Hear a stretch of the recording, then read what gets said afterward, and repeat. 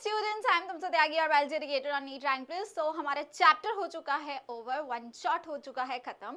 और uh, मुझे ऐसा लगता है कि आपके दिमाग में अच्छे से ये चैप्टर छप चुका होगा। तो now students we are having a quick revision for you guys दो पेज के ये नोट्स लेके आई हुई सुंदर से कलरफुल नोट्स आपके लिए मैम ने बहुत मेहनत से बनाए हैं और ये नोट्स आपको टेलीग्राम पे भी मिल जाएँगे। तो स्टूडेंट्स इससे हम करने वाले हैं पूरे चैप्टर का complete revision these are the mind maps for you so start करते हैं। तो बेटा जी ह्यूमन रिप्रोडक्शन चैप्टर के अंदर हमारा जो मोटा मोटा टॉपिक है that is your male and female reproductive system उसके बाद हम वहाँ पे देखते हैं कि किस तरह से गैमिटोजेनेसिस होता है, यानी कि गैमिट्स का फॉर्मेशन होता है। ठीक है? एंड उसके अलावा हमने देखा कि फर्टिलाइजेशन जब गैमिट्स बन गया तो फर्टिलाइजेशन होगा। फर्टिलाइजेशन के होने के बाद में वहाँ पर होता है इम्प्लांटेशन जिसके लिए there is an embryonic development और वो एम्ब्रियोनिक डेवलपमेंट जो है इम्प्लांटेशन के बाद भी कॉन्टिन्यूड रहती है, जहाँ पे नाइन मंथ्स का जस्टेशन पीरियड चलता है, जिसके अंदर हमने बहुत सारे चेंजेस देखे थे। हमने गैस्ट्रोलेशन भी पढ़ा था। एंड उसके अलावा स्टूडेंट्स हमने वहाँ पे प्लेसेंटा की फॉर्मेशन देखी थी उसके फ़ंक्शंस देखे थे उसके रोल्स देखे थे और इन सभी में हमने देखा था कि किस तरह से हॉर्मोन्स जो है हमारे इन प्रोसेस को कंट्रोल कर रहे होते हैं। And lastly we talked about the parturition and lactation so यही सब की बातें इस माइंड मैप में फटाफट से कर लेते हैं। सो so, स्टार्ट करते हैं मेल रिप्रोडक्टिव सिस्टम के साथ में जैसे कि आप देख सकते हैं। सो मेल रिप्रोडक्टिव सिस्टम के अंदर हमने स्टूडेंट्स क्या पढ़ा था? हमारे पास होती है अ पेयर ऑफ़ टेस्टीज उसके अलावा हमारे पास होते हैं मेल एसेसरी डक्स फिर हमारे पास होता है male accessory glands then external genitalia right students so अगर हम बात करते हैं टेस्टीज की तो टेस्टीज मैंने आपको स्टूडेंट्स क्या समझाया था? कि ये स्क्रॉटल सैक्स के अंदर प्रेजेंट होते हैं तो यानी हमारे पास दो टेस्टीज होते हैं और दोनों टेस्टीज हमारे scrotal sacs individually two scrotal sacs में प्रेजेंट होते हैं और ये स्क्रोटल सैक्स एक स्क्रोटम में है ना? ये खुद एक स्क्रोटम में वहाँ पर प्रेजेंट होती है राइट तो एक पूरे स्क्रोटम के अंदर दो स्क्रोटल सैक्स है, उसके अंदर टेस्टीज है, याद आ रहा है सबको? ठीक है? एंड ये यहाँ पर हमारा ऊपर की तरफ़ हमारी पेल्विक रीजन से कनेक्टेड होती है with the help of this inguinal canal है ना? ये याद है सबको? ये वाले इंग्विनल केनाल देन टेस्टीज के स्ट्रक्चर की बात करें तो आपको याद होगा स्टूडेंट्स हमारे इस टेस्टीज के अंदर होते हैं बहुत सारे लोब्यूल्स जिनको हमने टेस्टिकुलर लोब्यूल्स कहा था। ठीक है? ये हमारे टेस्टिकुलर लोब्यूल्स कितने होते हैं? कम से कम भी 250 कंपार्टमेंट्स ऐसे होते हैं, जिसमें हर एक कंपार्टमेंट में एक से लेके तीन तक हमारी सेमिनिफेरस ट्यूब्यूल्स प्रेजेंट होती है। राइट स्टूडेंट्स सो ये सेमिनिफेरस ट्यूब्यूल्स इसके बाद कनेक्ट होती है किससे? हमारी मेल असेसरी डक से। तो नाउ हमारी मेल असेसरी डक्स कौन कौन सी है स्टूडेंट्स हमारे पास में? द वेरी फ़र्स्ट जो डायरेक्टली हमारे सेमिनिफेरस ट्यूब्यूल को ज्वाइन करती है, वो है हमारी रेटे टेस्टस ठीक है? तो यहाँ से हमारी रेटे टेस्टस निकलती है, उसके बाद ये नेटवर्क को ज्वाइन करती है, जो कि हमारा क्या था? याद आ रहा है सबको? Vasa efferentia this was your vasa efferentia and उसके बाद स्टूडेंट्स ये ज्वाइन करती है इस एपिडिडाइमिस को, जो कि हाफ़ आपके टेस्टस के ऊपर ही इस तरह से कवर कर रहा होता है। और इसके तीन रीजन्स भी हमने पढ़े थे द ऊपर वाला region that was your caput cap से मैंने आपको याद दिलाया था कैप्यूट ठीक है? और ये वाला रीजन बॉडी होती है, जिसको कॉर्पस कहते हैं। This was the corpus and ये हमारा क्या था? Tail region that is the cauda right याद आ गया सबको? यही सब हमने पढ़ा था।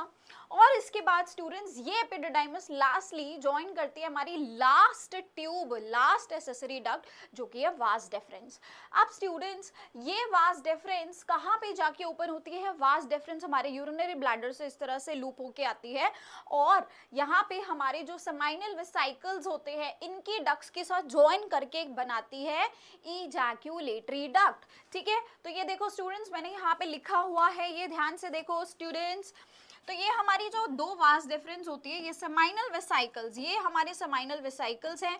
इनकी डक्स के साथ ज्वाइन करके क्या बनाती है? एक कॉमन इजैक्यूलेटरी डक बनाती है, जो कि हमारी यूरेथ्रा में ओपन होती है।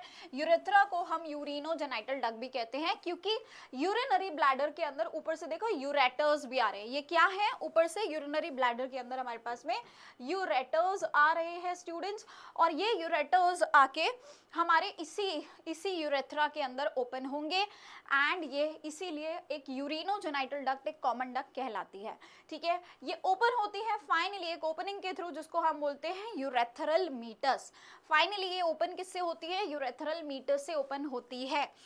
एंड लास्टली स्टूडेंट्स यहाँ पर यूरेथ्रल मीटर से जब ये ओपन होगी तो यहाँ से हमारा सिक्रीशन होगा किसका स्पर्म्स का और साथ ही यूरिन का, ठीक है? दोनों एक साथ नहीं होते अलग अलग टाइम पे दोनों चीज़ें सिक्रीट होती है। इतनी बात आई होप सबको क्लियर हो गई होगी। अच्छा चलो, अब इधर आ जाओ। So we have talked about the testis we have talked about the male accessory ducts अब आ जाते हैं ग्लैंड्स पे। तो ग्लैंड्स को अगर हम ध्यान से देखें स्टूडेंट्स हमारे पास टोटल में कितने ग्लैंड्स हैं? हमारे पास यहाँ पे बेटा ये तीन ग्लैंड्स होते हैं। कौन कौन कौन से? Seminal vesicles which is a pair of course एक सिंगल प्रोस्टेट ग्लैंड और दो यहाँ पर मटर के दाने जैसा बल्बो यूरेथ्रल ग्लैंड जिसको हमने एक और नाम भी दिया था। क्या नाम दिया था? जल्दी बोल दो। कॉपर्स ग्लैंड है ना? हमने इसको कॉपर्स ग्लैंड भी नाम दिया था, ठीक है? आपको इन सभी की सिक्रीशंस याद होगी समाइनल वेसाइकल की सिक्रीशंस कैसी होती है? अल्कलाइन होती है, ताकि यूरेथ्रा का और वेजाइना का एसिडिक मीडियम को न्यूट्रलाइज कर सके। साथ में इसकी सिक्रीशंस हम सभी को याद होगी, क्या सिक्रीशंस थी? फ्रक्टोज मेन सिक्रीशन थी। इसके अलावा यहाँ पे कुछ कॉगुलेटिंग प्रोटीन्स होते हैं, जो सीमन को कॉगुलेट करते हैं। एंड होते हैं यहाँ पर हमारे कुछ जो है कैल्शियम आइंस होते हैं राइट इसके अलावा स्टूडेंट्स माइनल वेसाइकल जो होता है दैट इसकी जो सिक्रीशन है दैट इज़ 60 परसेंट कितना होता है इसका secretion itself is 60 percent prostate का हमारा लगभग 25 परसेंट होता है। प्रोस्टेट का सिक्रीशन एसिडिक होता है यहाँ पे सिट्रिक एसिड प्रोड्यूस होता है। साथ ही कुछ एंजाइम्स जैसे कि एसिड फॉस्फेटेज हो गए है ना? आपका अमाइलेज uh, हो गया राइट right? uh, आपका यहाँ पे ये जो एंजाइम्स होते हैं प्रोस्टेट के जो एंजाइम्स होते हैं these are creating acidic environment along with the citric acid ठीक है? और इसके बाद बल्बो यूरेथ्रल का सिर्फ़ 15 परसेंट यहाँ पर सिक्रीशन है।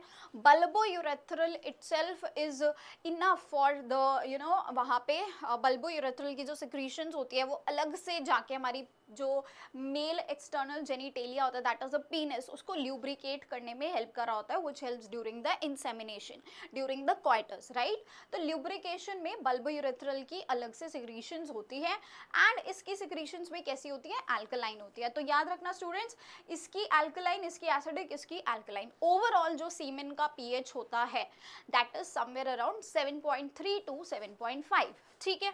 याद रहेगा सबको। अब देखो स्टूडेंट्स यहाँ पे हमारे पास हमने क्या बात करी? कि ये सभी की सिक्रीशंस इनको बोलते हैं समाइनल प्लाज्मा। जो कि हमारे स्पर्म के साथ मिलकर क्या बना देता है? सीमेन बना देता है सीमेन जिसका पीएच कितना बताया मैम ने अभी? 7.3 टू 7.5 यानी कि it is a alkaline pH and region alkaline का वही है कि ये आपके रिप्रोडक्टिव सिस्टम का जो वहाँ पे एसिडिक मीडियम होता है, उसको न्यूट्रलाइज करता है ताकि स्पर्म्स वहाँ डैमेज ना हो। जल्दी से आगे बढ़ते हैं, फटाफट से देखो स्टूडेंट्स लास्ट हमारे पास में आता है एक्सटर्नल जेनिटेलिया जो कि है पीनिस जिसको कॉपुलेटरी आपका ऑर्गन भी कहते हैं which helps in the act of the coitus right और यही इंसेमिनेशन में हेल्प करता है स्टूडेंट्स और स्टूडेंट्स पीनस के अंदर हमारे पास इरेक्टाइल टिश्यू होती है, दो तरह की होती है कौन कौन सी? कॉर्पोरा कैवर्नोसा जो साइड में होती है, आपके पास this will be a pair यानी ये दो होती है नंबर में this is corpora cavernosa and उसके अलावा हमारे पास होती है कॉर्पस पॉन्जियोसम जो कि बिल्कुल सेंटर में होती है, जिसके बीचों बीच हमारी यूरेथ्रा जारी होते हैं तो यूरेथ्रा को सराउंड करके रखती है। ठीक है? अंडरस्टूड ये याद रहेगा इरेक्टाइल टिश्यू और इरेक्टाइल टिश्यू आपके इरेक्शन में हेल्प करते हैं during the coitus right then students ये जो पीनस का एंड होता है, इसको हम बोलते हैं this entire organ is your penis ठीक है? And along with the scrotum penis along with the scrotum forms your external genitalia glans penis is the last part glans penis आपका यहाँ पे लास्ट पार्ट होता है स्टूडेंट्स जो कि loose fold of skin से कवर्ड रहता है, जिसको हम फोर स्किन या फिर हम एक और नाम भी था, याद है? एक और नाम भी क्या था? प्रेप्यूज ठीक है? ये इसके नाम होते हैं। क्लियर हो गया? अंडरस्टूड येस और नो यहाँ तक आई होप सबको क्लियर होगा। क्लियर है सभी को यस और नो यस और नो क्या यार? तो students since we have done this अभी देखो, इसके बाद में हमने पढ़ा था किसके बारे में? सेमिनिफेरस ट्यूब्यूल तो सेमिनिफेरस ट्यूब्यूल ही वो एक्चुअल साइट है जहाँ पे स्पर्म का प्रोडक्शन होता है। तो अगर हम इसका टीएस देखें, क्योंकि ये ट्यूब है तो टीएस उसका कैसे आता है? Circular it is it is surrounded by your germinal epithelium एक पतली सी लेयर होती है और उसके अंदर हमारे क्यूबॉइडल सेल्स होते थे कौन से मेल जर्म सेल्स तो पूरा it is line by the male germ cells ठीक है? उसके बाद हमारे प्राइमरी स्पर्मेटोसाइट्स फिर सेकेंडरी स्पर्मेटोसाइट्स फिर स्पर्मेटिड्स और लास्टली अंदर स्पर्म्स है। ठीक है? आपको शायद बहुत इसको जूम करके देखोगे तो you will see it in the notes right and lastly students यहाँ पे जो लंबे लंबे सेल्स थे, वो कौन से थे? हमारे सर्टोली सेल्स क्लियर हो गया? नाउ स्टूडेंट्स अब जल्दी से आ जाते हैं फीमेल रिप्रोडक्टिव सिस्टम पे। तो फीमेल रिप्रोडक्टिव सिस्टम के अंदर हमने क्या देखा? यहाँ पे हमारे पास थी ovary accessory ducts accessory gland और एक्सटर्नल जेनिटेलिया सेम चीज़ें हैं। बस वहाँ पे टेस्टीज होता है प्राइमरी सेक्स ऑर्गन और यहाँ पे होता है योर एवरी ओवरी तो प्राइमरी सेक्स ऑर्गन क्या है? Which is actually producing your gametes and साथ में आपके मेल या फीमेल हॉर्मोन्स रिस्पेक्टिवली ठीक है? तो यहाँ पे ovary is your primary sex organ ना ओवरी मैंने आपको बताया था कि ये भी क्या होती है? पेयर होती है. It is attached with the help of the ligaments याद है ना आपको? कौन सी लिगामेंट्स अगर डायरेक्ट यूट्राइन की लाइनिंग से अटैच है तो इट इज़ ओवेरियन लिगामेंट और अगर वो पेल्विक लाइन से अटैच होती है तो सस्पेंडेड लिगामेंट्स ठीक है? चलो, अब इधर आ जाओ। Now look at the accessory ducts तो एसेसरी डक्स हमारे पास कौन सी है? फैलोपियन ट्यूब अगेन ये भी पेयर होती है 10 से 12 सेंटीमीटर की लंबी होती है।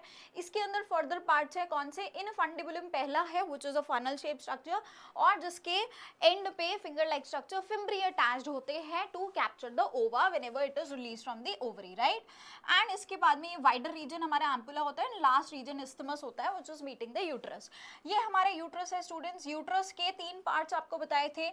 जो ऊपर वाला हिस्सा होता है that is your fundus main body होती है lastly you have the cervix which has a very thin canal जिसको हम बोलते हैं सर्वाइकल कैनाल और ये होती है वजाइना सो स्टूडेंट्स इसकी जो सर्वाइकल कैनाल है, ये आपकी वजाइना के साथ मिलके क्या फॉर्म करती है? यही हमारी बर्थ कैनाल फॉर्म करती है। This is only forming the birth canal clear हो गया? ठीक है, ये हो गए ससरी डक्स यहाँ से ओवा निकलेगा तो ट्रांसपोर्टेशन के लिए it is responsible similar to your accessory ducts in the male ठीक है, वहाँ पर भी ट्रांसपोर्टेशन के लिए रिस्पॉन्सिबल थी, यहाँ पर भी वही सेम काम होने वाला है. नाउ यूट्रस की बेटा वॉल्स होती है, तीन सबसे आउटर वाली होती है, पेरीमीट्रियम, उसके बाद मायोमीट्रियम होती है, जो कि स्मूथ मसल से बनी होती है, जो कि कॉन्ट्रैक्शन में जाती है ड्यूरिंग या पाचरेशन एंड एंडोमीट्रियम एंडोमीट्रियम हमारा लास्ट है यहाँ पे स्टूडेंट्स एंडोमीट्रियम का काम क्या होता है? ये इनर मोस्ट लाइनिंग होती है यूट्रस की कैविटी को लाइन कर रही होती है ग्लैंडुलर होती है, और मेंस्ट्रुअल साइकिल के दौरान इसी की शेडिंग की बात हो रही थी। ठीक है, यही थी वो लाइन चलो अब आते हैं external genitalia so external genitalia को हम वल्वा भी कहते हैं। ठीक है वुल्वा कह लो वल्वा कह लो, एक ही बात है। एंड देन एसेसरी ग्लैंड्स यहाँ पे हम एसेसरी ग्लैंड पढ़ते हैं। एनसीईआरटी में नहीं दिया बट मैंने आपको बता दिया था। तो let's study about that so हमारा सबसे पहला होता है बाहर का fatty tissue that is the mons pubis which is covered with your pubic hair इसके बाद आती है हमारी लेबिया मेजोरा विच इज़ उसको अपर लिप भी हम कहते हैं स्टूडेंट्स ये हमारी फ्लैशी फोल्ड से बनी होती है। इसके जस्ट नीचे होती है हमारी लेबिया माइनोरा जिसकी दोनों एंडिंग्स ऊपर की तरफ़ एक फिंगर लाइक स्ट्रक्चर बनाते हैं, जिसको क्लाइटोरिस कहते हैं। बेटा क्लाइटोरिस आपको याद होगा, मैंने आपको क्या बताया था? Clitoris is also sim homologous to the penis ये भी रेक्टाइल टिश्यू से बनी होती है। ठीक है? अराउजल के लिए this is only responsible and then उसके अलावा स्टूडेंट्स हमारे पास ये होती है, ये अंदर वाली क्या है लेबिया माइनोरा जिसको लोअर लिप भी हम कहते हैं। और बच्चे, ये अंदर, इसके अंदर हमारे पास में दो ओपनिंग्स होती है। ऊपर वाली ओपनिंग को हम बोलते हैं यूरेथ्रल ऑरिफाइस और नीचे वाली को बोलते हैं vaginal orifice which is covered with mucous membrane mucus से बनी हुई मेम्ब्रेन होती है very thin membrane which often tear during the first coitus जिसको कहते हैं हाइमिन एंड इसके साइड पे दो हमारे ग्लैंड्स होते हैं, जिसको हम बोलते हैं बार्थोलिन्स ग्लैंड और इसके साइड पे हमारे दो ग्लैंड्स होते हैं, जिसको हम बोलते हैं क्या? पैरा यूरेथ्रल ग्लैंड तो ये दो ग्लैंड्स होते हैं जिनके सिक्रीशंस का काम होता है ल्यूब्रिकेशन प्रोवाइड करना अगेन ड्यूरिंग द क्वाइटर्स ठीक है? अंडरस्टूड हो गया. आ गई ये सारी बात समझ में एसेसरी ग्लैंड्स और हमारा एक्सटर्नल जेनिटेलिया भी हो गया है फीमेल में.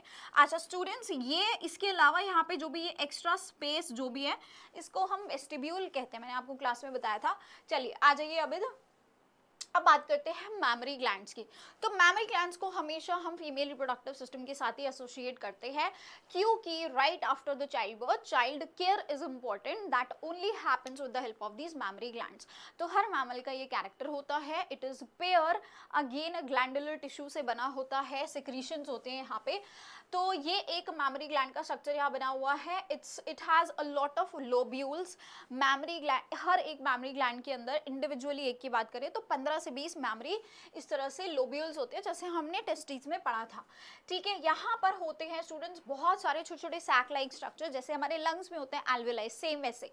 बट डिफरेंस क्या है? These are responsible for the secretion of the milk ठीक है तो ये मिल्क का सिक्रीशन करते हैं स्टूडेंट्स एंड यहाँ से फिर हमारी निकलती है सबसे पहले हमारी होती है मैमरी ट्यूब्यूल, फिर होती है मैमरी डक्ट एंड देन एक वाइडर रीजन जिसको बोलते हैं mammary ampulla and lastly students we have the lactiferous ducts which joins the nipples and baby जब भी निपल्स के थ्रू मिल्क को सक करने की कोशिश करता है तो ऑक्सीटोसिन नाम का hormone which is also known as the milk let down factor this is responsible for the contraction of the smooth muscles and it leads to the release of your milk ठीक है? और production के लिए prolactin responsible होता है. तो milk की synthesis के लिए प्रोलैक्टिन एंड मिल्क का निकलने के लिए रिलीज़ आउट के लिए ऑक्सीटोसिन ठीक है? क्लियर इसके अलावा यहाँ पे बहुत सारी फैटी टिश्यूज होती हैं जो आपके मैमरी ग्लैंड्स में होती है। अच्छा अब मिल्क का प्रोडक्शन रुकता कब है? क्या सारी ज़िंदगी मिल्क प्रोडक्शन होगा? नहीं।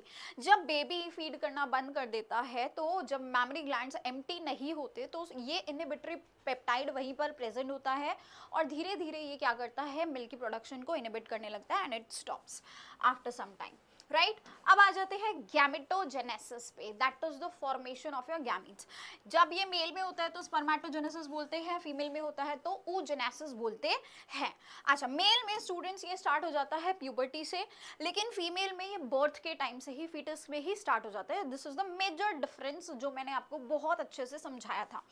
अब आ जाओ स्टूडेंट्स प्यूबर्टी पे ये स्टार्ट हो जाता है तो मेल की बॉडी में बहुत सारे ऐसे मेल जर्म सेल्स होते हैं, जो हमने यहाँ पे पढ़े हैं, है ना? टेस्टिस वो सेमिनिफेरस ट्यूब्यूल की लाइनिंग के अराउंड जो हमारे मेल जर्म सेल्स होते हैं, उन्हीं की बात हो रही है। उसमें से कुछ सेल्स जो होते हैं they continue to divide and they start forming your spermatogonia उनकी क्या चलती रहती है? माइटोसिस यहाँ पे दोनों प्रोसेस चलेंगे माइटोसिस भी मियोसिस भी। तो माइटोसिस से हमको और स्पर्मेटोगोनिया मिलता है। वेयर एज कुछ ऐसे सेल्स होते हैं जो स्पेशलाइज हो जाते हैं फॉर द मियोसिस तो ऐसे सेल्स को हम बोलते हैं प्राइमरी स्पर्मेटोसाइट्स ठीक है, ये डिप्लॉयड है, अभी यहाँ पर डिप्लॉयड डिप्लॉयड कोई रिडक्शनल डिवीज़न नहीं हुआ है। तो सबसे पहले primary spermatocyte goes under the equal equational division not the equational division but equal cytoplasmic division वहाँ पे होगा, जैसे फीमेल में नहीं हो रहा था। ठीक है, होगा तो रिडक्शनल डिवीज़न मियोसिस होता है, लेकिन इक्वल होती है। This division is equal in terms of your cytoplasm ठीक है तो साइटोप्लाज्म यहाँ बराबर बराबर आता है सेकेंडरी स्पर्मेटोसाइट्स ये अभी हमको हैप्लॉइड मिल गया। फ़र्स्ट मियोसिस हो गई। सेकेंड मियोसिस के बाद स्टूडेंट्स हमको मिल जाता है स्पर्मेटिड्स एंड लास्टली ये स्पर्मेटिड्स डिफ्रेंशिएट करके क्या बना रहे थे हमारे स्पर्म्स यानी स्पर्मेटोजोआ ठीक है तो ये जो पूरा प्रोसेस होता है, इसको हम क्या क्या बोलते हैं? स्पर्मेटोजेनेसिस यहाँ पर जो स्पेसिफिक प्रोसेस होता है आपका, जिसमें स्पर्मेटेड से स्पर्मेटोजोआ में कन्वर्जन होता है, इसको बोलते हैं स्पर्मिएशन एंड उसके अलावा स्टूडेंट्स जब हमारे स्पर्म सेमिनिफेरस ट्यूब्यूल को छोड़ के निकल जाते हैं इनिशियली ये सर्टोली सेल्स के हेड में एम्बेडेड रहते हैं स्पर्मेटर जो होते हैं न्यूट्रिशन डिराइव कर रहे होते हैं जब ये पूरी तरह नरिश हो चुके हैं, जब ये स्पर्मेटोजोआ में कन्वर्ट हो गए तो they leave the seminiferous tubule and release out and this process is known as spermiation तो तीनों टर्म्स क्लियर हो गई होंगी आई आई गेस आई सपोज़ ठीक है? चलो, अब आ जाते हैं आपके ऊजनेसिस पे। तो ऊजनेसिस में क्या होता है देखो it starts at the puberty puberty पे शुरू हो जाता है बच्चा। और आ, लेकिन उससे पहले क्या हुआ है उससे पहले यहाँ पे जो ऊगोनिया की फॉर्मेशन है वो फीटस में ही हो चुकी होती है ठीक है? प्रोसेस मियोसिस का स्टार्ट होता है प्यूबर्टी में यहाँ की तरह। लेकिन यहाँ पे जैसे स्पर्मेटोगोनिया प्यूबर्टी में बन रहे थे ना यहाँ पर उगोनिया हमारे कहाँ बन जाते बेटा? It forms in your fetus it ठीक है? फीटस में सारे हमारे लगभग आपके कितने? दो मिलियन आपके उगोनिया बन जाते हैं दोनों के अंदर ठीक है? सो so, ये उगोनिया जो होते हैं स्टूडेंट्स धीरे धीरे धीरे धीरे आपके डिजनरेट करने लगते हैं जिसको अट्रेशिया बोलते हैं एंड आफ्टर बर्थ हमारे पास में इनफैक्ट और कोई उगोनिया नहीं बचता। सिर्फ़ ये उगोनिया जो है अब डिजनरेट करने लगेंगे एंड प्यूबर्टी तक आते आते सिर्फ़ सिक्सटी टू एट्टी थाउज़ेंड हमारे पास में रह जाते हैं ठीक है? अंडरस्टूड अब देखो, होता क्या है? ओगोनिया इनिशियली फॉर्म्स ये हो गया, ये सब फीटल लाइफ में हो गया है, ठीक है? एंड स्टूडेंट्स ये प्राइमरी ऊसाइट में कन्वर्ट हो जाते हैं। म्योसिस स्टार्ट हो जाती है, लेकिन म्योसिस कंप्लीट नहीं है। सिर्फ़ एक स्टेप म्योसिस का शुरू हुआ है दैट इज़ और प्रोफेज वन और ये प्रोफेज वन में ही आके क्या हो जाते हैं? अरेस्ट हो जाते हैं, है ना? हमारे प्राइमरी ऊसाइट प्रोफेज वन में ही आके अरेस्ट हो जाते हैं। इसके बाद सिर्फ़ वहाँ पे फॉलिकल्स का डेवलपमेंट चलता है।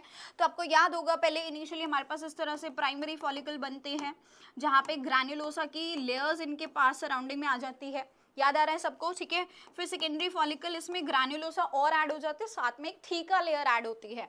देन उसके बाद स्टूडेंट्स हमारे पास में टर्शरी फॉलिकल बन जाता है, जिसमें थीका, इंटरना एक्सटर्ना हो जाती है, ग्रैनुलोसा और सारा हो जाता है, और साथ में एक और characteristic fluid filled cavity antrum यहाँ पे बन जाती है। Lastly we have the Graafian follicle Graafian follicle students हमारा एक मेच्योर फॉलिकल है यहाँ पर। एक चीज़ और एक्स्ट्रा हो रही है लेयर्स तो आपकी बढ़ी रही है फॉलिकल मेच्योर हो रहा है। साथ में यहाँ पर जो हमारा ओवा होता है, ठीक है? अभी मैं बताऊँगी कौन सी स्टेज पे है राइट तो उसके सराउंडिंग में जोना पेल्यूसिडा यहाँ पे बनना चालू होती है, यहाँ पे पूरी तरह जोना पेल्यूसिडा बन चुकी है होती है, ठीक है? ग्राफियन फॉलिकल में जोना पेल्यूसिडा भी बन जाती है। अंडरस्टूड इतनी बात आई होप सबको समझ में आई होगी। तो इनिशियली हमारे पास ये यहाँ तक सारी स्टेजेस पे प्राइमरी यूसाइड रहता है। टर्शरी फॉलिकल पे हमारा ये प्राइमरी oocyte की होती है सबसे पहली मियोसिस, जहाँ पे it converts into the secondary oocyte और साथ में यहाँ पे रिलीज़ हो जाती है एक फ़र्स्ट पोलर बॉडी सो ये होती है एक unequal division in terms of cytoplasm तो पोलर बॉडी के पास बहुत थोड़ा सा साइटोप्लाज्म आता है, इसके पास बहुत ज़्यादा आता है, ताकि it can go further under the division polar body का कोई डिवीज़न में काम नहीं था, ये डिजनरेट होने वाली है। यहाँ पर भी हमने यही देखा, यहाँ पर भी हमने यही देखा। दोनों जगह पोलर बॉडी डिजनरेट होती है, ठीक है? यहाँ पे स्टूडेंट्स हमको क्या मिल गया? हमको मिल गया हमारा सेकेंडरी ऊसाइट अब इसके बाद में स्टूडेंट्स ग्राफियन फॉलिकल जब बनता है तो मतलब यहाँ पे हमारे पास क्या है? सेकेंडरी ऊसाइट है, ठीक है? तो ये सेकेंडरी ऊसाइट रिलीज़ होता है ड्यूरिंग दी ओव्यूलेशन देखो, मैंने यहाँ लिखा भी है स्पेसिफिकली मार्क किया है। तो यहाँ पे ओव्यूलेशन ओव्यूलेशन जब होता है, ठीक है, अभी हम पढ़ेंगे मेंस्ट्रुअल साइकिल में, जब एलएच के बहुत ज़्यादा सर्ज आ जाता है, उसकी वजह से ओव्यूलेशन होता है तो बेटा it initiates your second meiotic division जहाँ पे we get a ootid that is your ova and a second polar body that is going to degenerate ये सेकेंड सेकेंडरी oocyte जो यहाँ पे फॉर्म हुआ है students this also arrest itself at the metaphase one इसके बाद यहाँ पे अभी डिवीज़न नहीं होगा, ये मेटाफेज वन पे ही रुक जाएगा। एनाफेज वन यहाँ तब तक नहीं होता जब तक कि स्पर्म की एंट्री नहीं होती, जब तक कि फर्टिलाइजेशन नहीं होता। क्लियर हो गई ये बात, ठीक है? साथ में बेटा, अब ग्राफिन फॉलिकल्स का जो बचा हुआ पार्ट है that is your corpus luteum yellow colour की बॉडी है ल्यूटीन पिगमेंट प्रेजेंट होता है, ठीक है? ग्लैंडुलर है, बहुत सारे हॉर्मोन्स बनाएगा, ये सब हमने पढ़ा है। एंड इसके अलावा स्टूडेंट्स अब कॉर्पस ल्यूटियम कुछ टाइम के लिए वहाँ वेट करता है।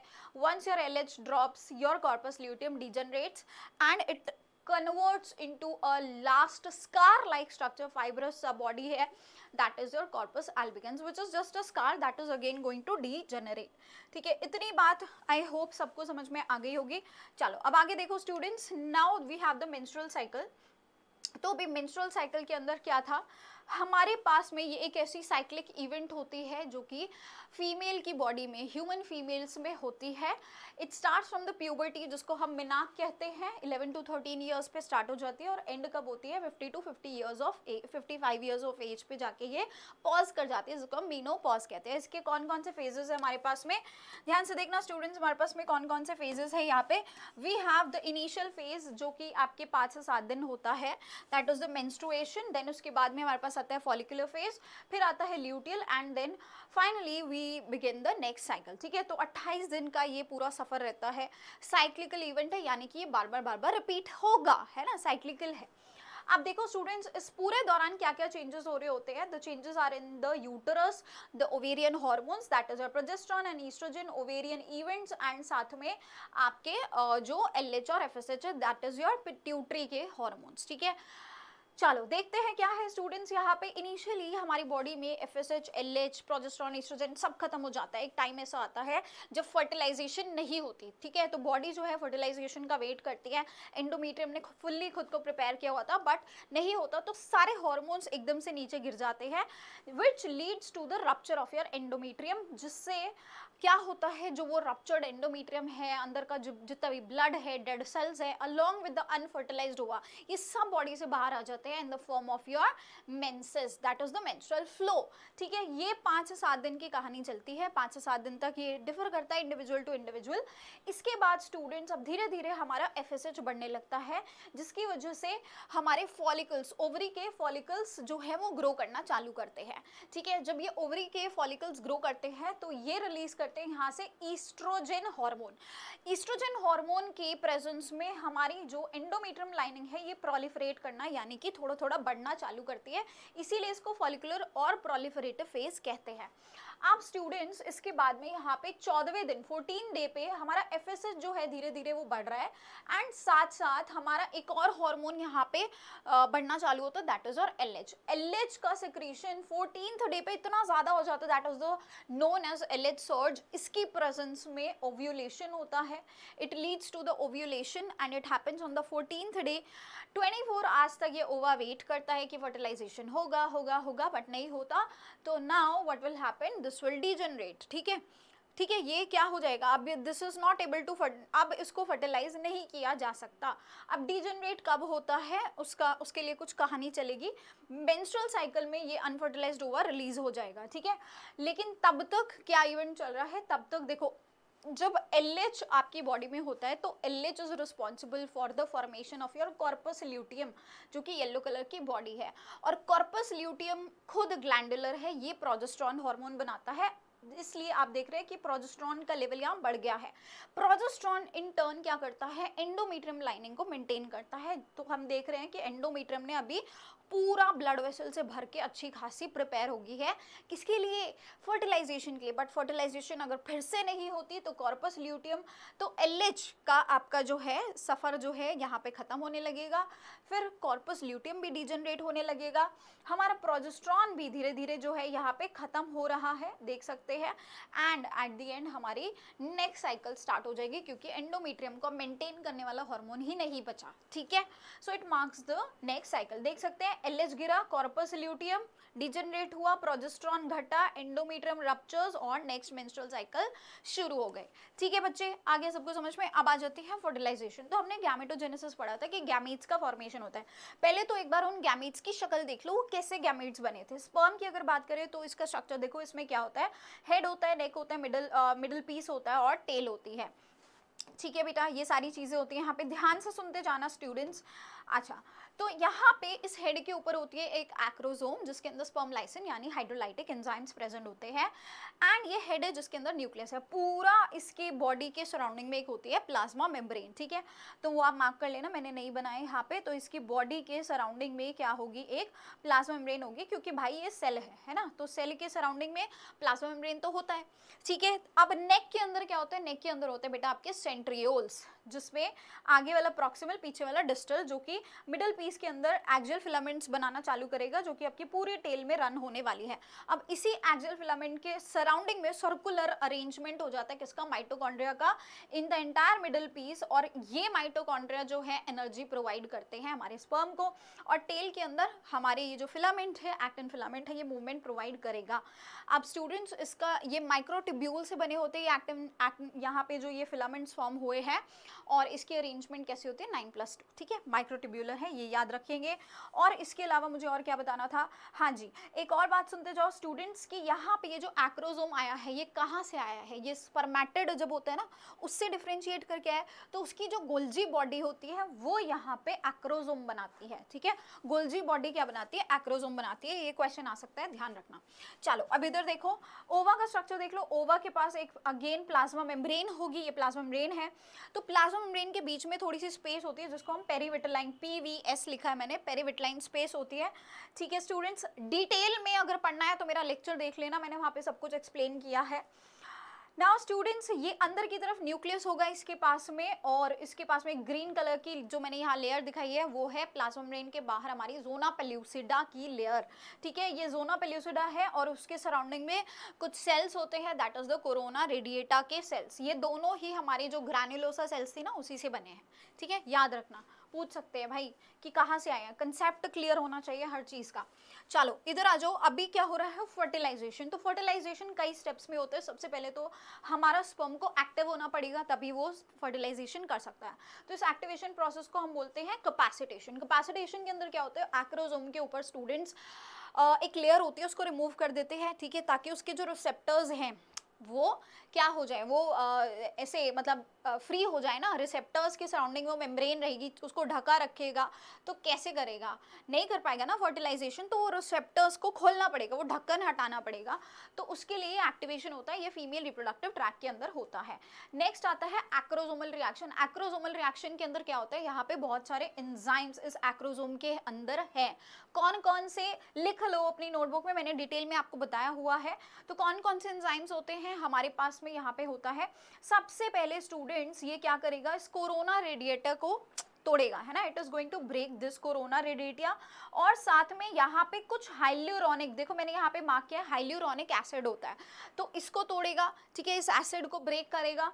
और फिर जोना पेलिसुडा को तब ये अंदर प्लाज्मा मेम्ब्रेन तक जा सकता है। क्या कहते हो? बात समझ में पहले तो बैरियर ब्रेक करना होगा, उसके बाद अंदर एंटर करेगा ना? हाँ तो ये बैरियर इस एक्रोजोमल रिएक्शन से करता है। हाइल्यूरोनिडेज एंजाइम इस हाइल्यूरोनिक एसिड को ब्रेक करता है। ठीक है? जोना पेल्यूसिडा पेनिट्रेटिंग एंजाइम्स जिसको हम जोना पेनिट्रेटिंग एंजाइम्स भी कहते हैं, वो इस पेल्यूसिडा लेयर को तोड़ेगी। फिर उसके अलावा स्टूडेंट्स यहाँ पे कोरोना रेडिएटा पेनिट्रेटिंग एंजाइम्स इसको तोड़ते हैं।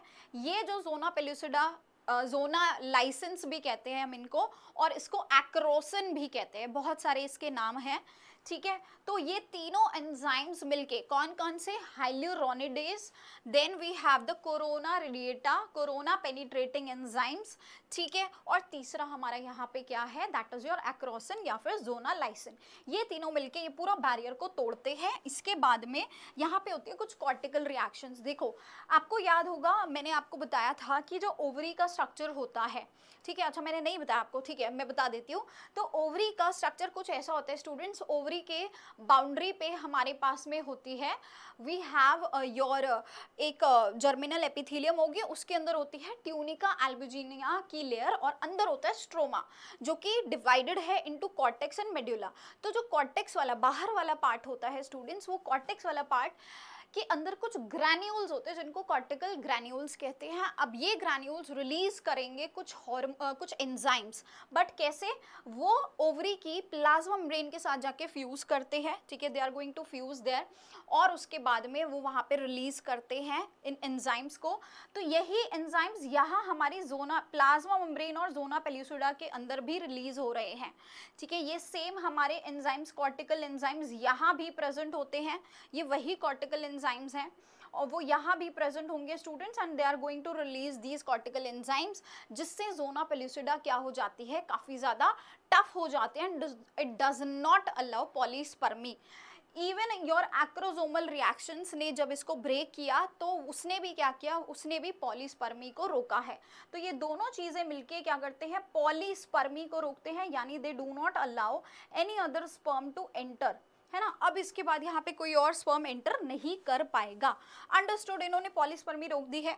अब लास्टली स्टूडेंट स्पर्म जो है एंट्री करता है, अंदर एंट्री मारेगा, जिसके लिए एक फर्टिलाइजेशन कोन यहाँ बनता है। ये यहाँ इस कोन स्ट्रक्चर में आ जाती है और स्पर्म फिर अंदर एंटर कर जाता है। ठीक है? और उसके बाद में it will release its nucleus फिर उसके बाद दोनों न्यूक्लियस का फ्यूजन होता है, जिसको हम बोलते हैं karyogamy once this karyogamy happens then we have a structure known as zygote उसके बाद हमारा जाइगॉट बनता है. अब इस जाइगॉट की होती है क्लीवेज जहाँ पे हमारा सिर्फ़ न्यूक्लियस का डिवीज़न होगा साइटोप्लाज्म जो है मतलब साइटोप्लाज्म का ratio will remain the same ठीक है?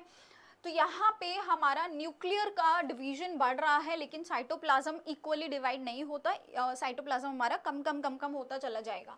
तो ये स्टेजेस कैसे आती है? Two celled four celled eight celled eight से लेके सिक्सटीन सेल्ड स्टेजेस तक आती है। इन सभी स्टेजेस को हम ब्लास्टोमियर्स कहते हैं।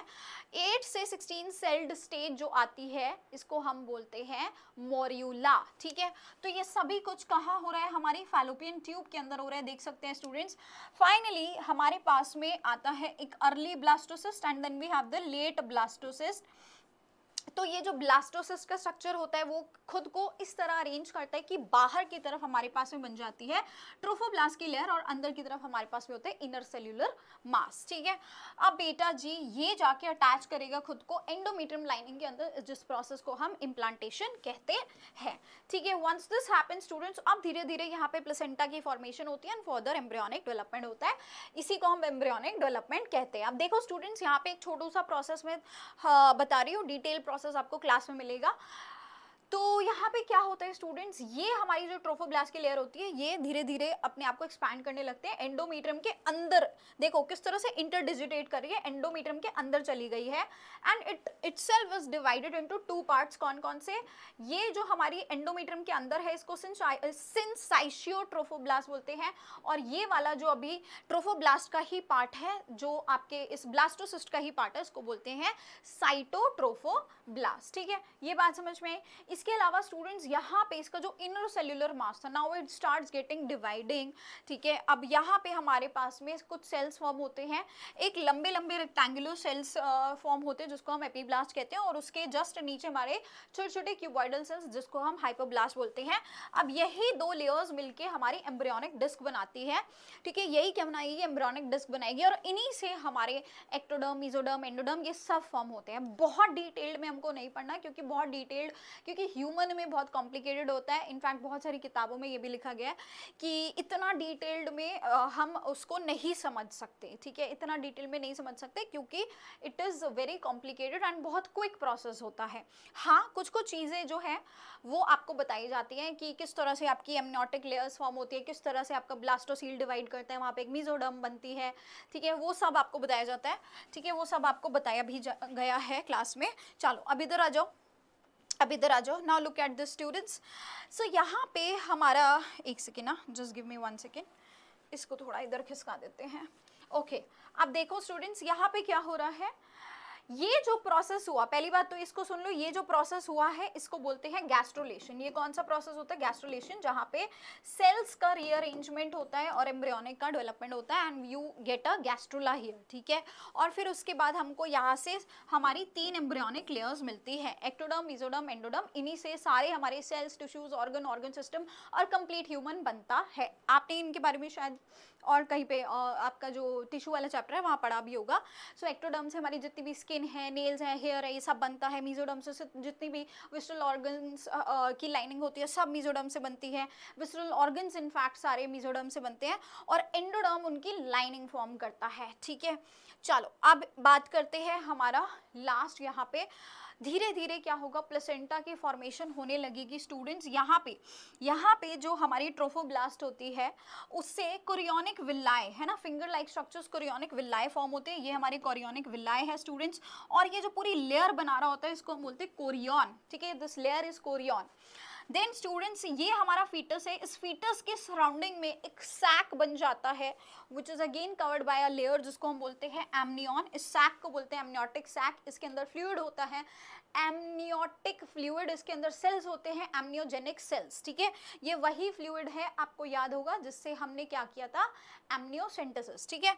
और ये क्या कर रहा है? फीटस को डेसिकेशन से बचाता है, वहाँ पे शॉक एब्जॉर्बर की तरह काम कर रहा है, थर्मोरेगुलेटर की तरह काम कर रहा है, ये फ़ंक्शंस पता होने चाहिए राइट स्टूडेंट्स एंड स्टूडेंट्स यहाँ पे हमारा जो यूट्रस है यूट्रस के अंदर जो हमारी यूट्राइन लाइनिंग है the endometrium now it has been divided into three parts इसको हम अब डेसीडुआ कहते हैं। इसके लिए एक नाम यूज़ करते हैं डेसीडुआ सो so, ये जो ऊपर वाला फार्म पार्ट होता है जो कोरियोनिक विल्लाई के साथ अटैच है इसको हम बोलते हैं डेसीडुआ बेसिलिस ये पेराइटल में जो होता है इसको डेसीडुआ पराइटल बोलते हैं। ये पेराइटल में जो है पेरीफेरी में जो है और ये जो दूसरा है, ये पूरा एक कैप्सूल जैसा जो बना लिया which is filled with the maternal blood इसको बोलते हैं कैप्सूलरस क्योंकि इसने कैप्सूल बना लिया है। अंडरस्टूड ठीक है स्टूडेंट्स एंड लास्टली स्टूडेंट्स यहाँ पे हमारा सर्विक्स के अंदर एक प्लग म्यूकस प्लग फॉर्म हो जाता है। ये भी किसने बनाया म्यूकस प्लग बेटा, ये म्यूकस प्लग हमारा प्रोजेस्ट्रॉन हार्मोन ही बनवाता है सर्विक्स से, ठीक है? जो प्रोजेस्ट्रॉन हार्मोन प्रेगनेंसी के दौरान रिलीज़ होता है ना कॉर्पस ल्यूटियम रिलीज़ करता है। तो इसका एक और फ़ंक्शन भी है, ये सर्विक्स का यहाँ प्लग भी बनवाता है। अंडरस्टूड ठीक है? अब देखो स्टूडेंट्स यहाँ पे हमारे पास में चार amniotic extra amniotic layer extra embryonic layer not amniotic embryonic layer यहाँ फॉर्म हुई है। ठीक है? जिसने एम्ब्रियो को कवर किया है। कौन सी चार लेयर है? एलेंटॉइस ये यहाँ पे एलेंटॉयस एक सैक जैसा स्ट्रक्चर है। इसका ह्यूमंस में कोई खास रोल नहीं होता है। ठीक है? Similarly we have a yolk sac इन दोनों के ही कोई खास रोल नहीं है। Then we have this amnion जो एमनियोटिक फ्लूड के सराउंडिंग में है। एंड दिस इज़ लास्टली और कोरियन जिसने कोरियोनिक विल्लाई बनाई है। अभी यहाँ पर हमारी इंटरडिजिटेशन से कौन सी टिश्यू बनती है? प्लेसेंटा बनती है प्लेसेंटा देखो स्टूडेंट्स ये प्लेसेंटा कैसे बनती है? प्लेसेंटा के अंदर दो पार्ट्स हैं। मेटर्नल टिश्यू भी है और फीटल टिश्यू भी है। अब ये आपस में इतनी ज़्यादा इंटरडिजिटेटेड होती है, यहाँ पे मदर और बेबी के बीच में बहुत अच्छा बॉन्ड बन चुका है ऑलरेडी ठीक है स्टूडेंट्स तो देखो किस तरह का बॉन्ड होता है स्टूडेंट्स यहाँ पे पहली बात तो इनके आर्टरीज वेन सब एक दूसरे में डिफ्यूज हो रही हैं सारी आर्टरीज वेन्स एक दूसरे में यहाँ पर क्या हो रही है स्टूडेंट्स डिफ्यूज हो रही है। देन uh, यहाँ से आप देख सकते हैं this is the foetus which is present in the womb and इस वोम्ब तक न्यूट्रिशन को ले जाने का काम प्लेसेंटा के बहुत सारे काम होंगे न्यूट्रिशन प्रोवाइड करता है। यानी ब्लड से न्यूट्रिएंट्स को देता है एक्सक्रीशन में हेल्प करता है। यानी जो भी एक्स्ट्रा नाइट्रोजनस वेस्ट है फीटस की बॉडी का, उसको कौन ला के देगा स्टूडेंट्स उसको प्लेसेंटा वहाँ से निकालेगी, ठीक है? और साथ में रेस्पिरेशन गैसेस एक्सचेंज भी करेगा ऑक्सीजन देगा सीओ निकालेगा। और एक बैरियर की तरह भी काम करते हैं टेराटोजेंस होते हैं, कुछ ऐसे एजेंट्स होते हैं, जैसे वायरसेस हैं, कुछ ऐसे केमिकल्स हैं, जो जाके बच्चे के लिए हार्मफुल हो सकते हैं, उसके ग्रोथ के लिए उसको अंदर जाने से रोकेगा। इम्यूनिटी देता है आईजीजी एंटीबॉडी यहाँ पे बच्चे को मिलती है, ठीक है? स्टोरेज करता है फैट्स का ग्लिसरॉल का। इसके अलावा स्टूडेंट्स एंडोक्राइन भी है प्रोजेस्ट्रॉन बनाता है। ठीक है प्रोजेस्टेरॉन बनाता है और क्या क्या बनाता है? H C G human chorionic gonadotrophin बनाता है।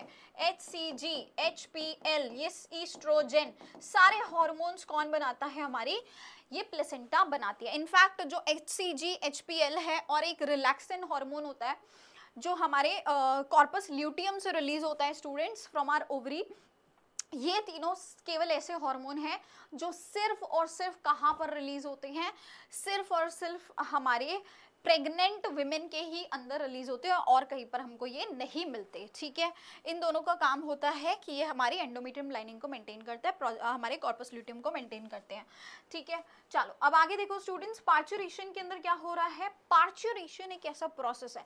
अच्छा ये मैं बताना भूल गई, यहाँ पे these are connected with the umbilical artery and umbilical veins directly foetus के साथ ये कनेक्टेड होती है बेटा, ठीक है? और यहाँ पे देख सकते हैं फीटल आपकी जो टिश्यू है, उसके अंदर भी मेटरनल ब्लड आ रखा है, यानी फुल डिफ्यूजन है। डिफ्यूजन प्रोसेस से ही ये यहाँ से क्या लेते हैं? न्यूट्रिशन को लेते हैं gases exchange and everything is going on ठीक है? Even your antibodies pass through it ठीक है? Only antibody which passes through the placenta that is the smallest antibody IgG okay अब ये फीटस है स्टूडेंट्स फीटस को मिलता है किसके थ्रू अम्बिलिकल कॉर्ड इसके सराउंडिंग में कनेक्टिव टिश्यू होती है और अंदर हमारे अम्बिलिकल आर्टरीज और वेन्स है. ये कॉर्ड बना देती है, जिसको हम बोलते हैं अम्बिलिकल कॉर्ड क्लियर हो गई? ठीक है.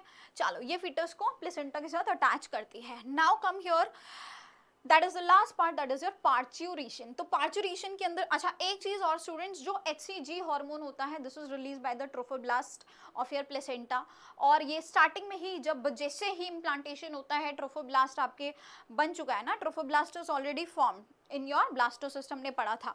तो वहाँ पे students it start releasing your H C G hormone और यही एच सी जी हार्मोन हमारे यूरिन के अंदर भी आ जाता है, जिससे हम प्रेगनेंसी टेस्ट करते हैं। We confirm that the women is pregnant ठीक है?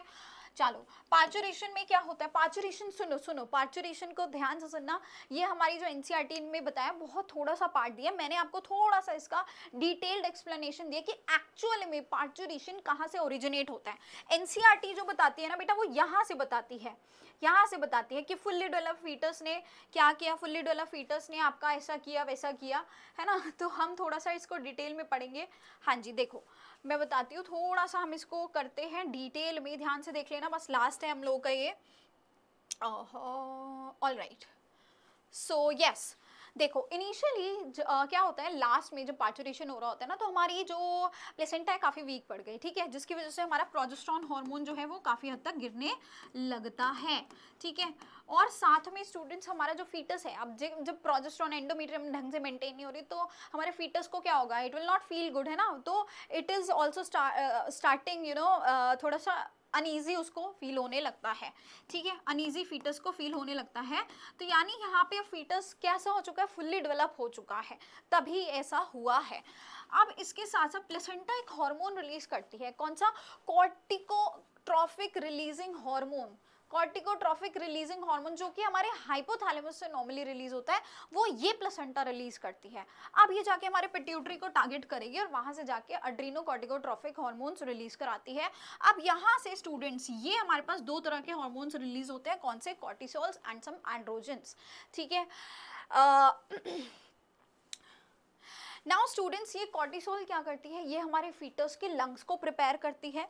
और ये जो यहाँ पे एंड्रोजन फॉर्म हुआ है, ये हमारे ईस्ट्रोजन में कन्वर्ट हो जाता है बाय द प्लेसेंटा प्लेसेंटा इसको ईस्ट्रोजन में कन्वर्ट कर देती है। अब ईस्ट्रोजन धीरे धीरे वहाँ पे बढ़ने लगेगा। जब ईस्ट्रोजन बढ़ता है तो it will it will activate it will start you know sending signals for the synthesis of the prostaglandin जब ईस्ट्रोजन बढ़ता है तो प्रोस्टाग्लैंडिन बॉडी में रिलीज़ होता है। जब प्रोस्टाग्लैंडिन रिलीज़ होता है प्रोस्टाग्लैंडिन का काम क्या होता है? कॉन्ट्रैक्शन कराना तो स्टूडेंट्स ये क्या करेगी, आपकी माइल्ड कॉन्ट्रैक्शन चालू कर देती है। यहाँ से हमारा न्यूरो एंडोक्राइन सिस्टम एक्टिवेट होता है, जिसकी बात एनसीईआरटी e करती है तो उससे पहले का प्रोसेस शायद आपको नहीं पता था, वो अब आपको समझ में आ गया है। तो अब आपका न्यूरो एंडोक्राइन सिस्टम जो है, वो चालू होता है, जिससे हमारे सिग्नल जाते हैं, सबसे पहले हाइपोथैलेमस के पास, फिर उसके बाद हमारी पोस्टीरियर पिट्यूटरी के पास, वहाँ से वो जीएनआरएच यानी गुनारोट्रोपिन रिलीजिंग हार्मोन रिलीज़ कराएँगे, फिर वो जाके पोस्टीरियर पिट्यूटरी को टारगेट करता है, और वहाँ से ऑक्सीटोसिन हार्मोन बनता है। ऑक्सीटोसिन हमारी बॉडी में कैल्शियम के लेवल लेवल्स बढ़ाते हैं जिससे अगेन बहुत ज़्यादा कॉन्ट्रैक्शन होता है उससे और ज़्यादा प्रोस्टाग्लैंडिन बढ़ता है जिससे और पॉजिटिव फीडबैक जाता है और ऑक्सीटोसिन बढ़ता है एंड धीरे धीरे हमारी कॉन्ट्रैक्शन बढ़ती जाती है बढ़ती जाती है and it leads to the dilation of your cervix initially हमारा सर्विक्स का जो डायामीटर uh, होता है that is one centimetre and it it has to be dilated to ten centimetre तब जाके आपका फुल बर्थ होता है। अब uh, ये जो बर्थ है यहाँ पे तीन स्टेप्स में हो रहा है। इनिशियली आपका क्या चल रहा है ये लेबर पेन्स चलते हैं that is the first stage ठीक है? सेकेंड स्टेज में बच्चे का डिलीवरी होता है और तीसरी स्टेज में प्लेसेंटा को वहाँ से बाहर निकाला जाता है। ये तीन स्टेजेस होते हैं स्टूडेंट्स। एंड uh, वहाँ आपने एक क्राउनिंग शब्द भी सुना होगा वो फ़र्स्ट स्टेज में दिखता है। जब बच्चे का डिलीवरी होने वाला है बस उसके लास्ट में क्या होता है आपका क्राउनिंग यानी कि हेड अपियरेंस हो जाता है सर्विक्स जब डायलेट करते हैं तो वहाँ पे सर दिखने लगता है जिसको हम क्राउनिंग कहते हैं। Lactation is the last thing बेटा जब आपका बच्चा बाहर आ गया है तो उसके तुरंत बाद उसको चाहिए चाइल्ड केयर जो कि मैमरी ग्लैंड से मिलती है, जिसकी बात हमने की थी, है ना? तो लैक्टेशन हमारा क्या होता है? Right after the delivery it starts दो से तीन दिन तक एक बहुत ही न्यूट्रिटिव मिल्क निकलता है, जिसको हम बोलते हैं कोलेस्ट्रॉम दो से तीन दिन तक ये निकलता है येलोइश फ्लूड होता है फुल ऑफ़ एंटीबॉडीज बहुत सारा प्रोटीन्स होता है इसमें, ठीक है? फैट्स uh, कम होते हैं प्रोटीन्स बहुत ज़्यादा होते हैं इसके अंदर और इसके अंदर आईजीए एंटीबॉडीज़ भी होती है। फिर उसके बाद मही जो भी महिला है वो छः महीने तक इंटेंस लैक्टेशन करती है जिसके अंदर हम लैक्टेशन लेमनोरिया नाम का है ना?